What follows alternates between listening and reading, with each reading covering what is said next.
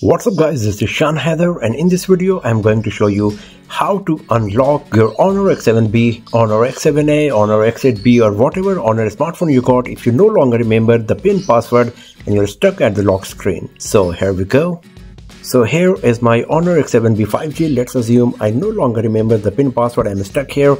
So I cannot go to the setting to remove any kind of security from my device. Another method to remove any kind of security from your smartphone is by resetting it but since you are logged out of the device you cannot go to the settings you cannot do a hard reset or factory reset as well so in this video i'm going to show you how to perform a hard reset right from the lock screen if you no longer remember the pin password and you're stuck at this lock screen here. But keep one thing in your mind that whatever content you got on your device will be deleted and you will start totally fresh with your smartphone. So the very first thing you have to do is switch off your device, press and hold the power key for a while and then power it off. Once the device is switched off, you have to press the power key and volume up key together. Press and hold them like this until the Honor logo appears on the screen.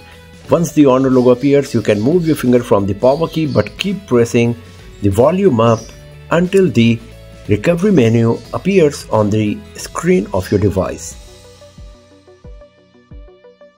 So now we are inside the recovery menu of MagicOS. You can see one of the option is clear data. So use the volume keys to navigate between the options and power key to select.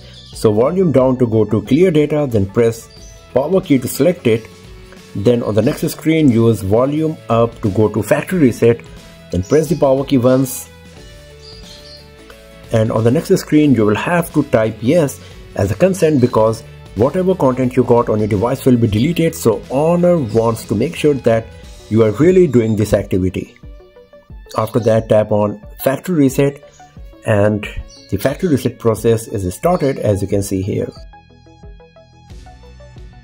now go to back press power key once volume up to go to restart and then press the power key once now the device will reboot and after that you will have to go through the setup process and then we will see whether we really got the access back to our device or not.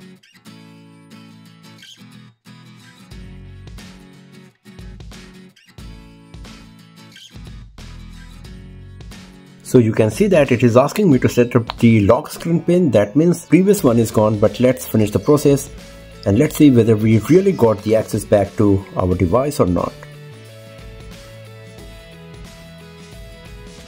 and here we go. So as you can see we got the access back to our honor x7b 5g here. It is no longer asking me to enter the lock screen pin or the password so this is how you can remove any kind of security from your Honor smartphone if you no longer remember the PIN password and you are stuck at the lock screen. So that's all for now friends. Thanks for watching this video. If you found it useful then give it a thumbs up, share it with your friends, subscribe the channel and do not forget to press the bell icon to get the notification for future uploads and I will see you guys next time in an another video. Have a nice day.